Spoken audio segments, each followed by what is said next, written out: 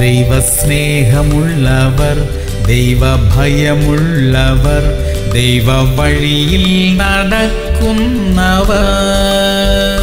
അവർ ഭാഗ്യമുള്ളവർ നിശ്ചയം. അവർ ഭാഗ്യമുള്ളവർ നിശ്ചയം.